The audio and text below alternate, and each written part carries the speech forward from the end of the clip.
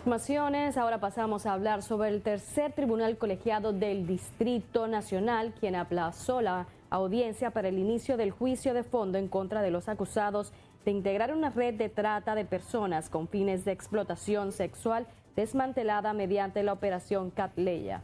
Esto por la ausencia de los abogados de seis de los imputados, de los cuales solo uno presentó excusa verbal, por lo que el tribunal ordenó la intimación a los mismos con la finalidad de que confirmen si continuarán en la defensa.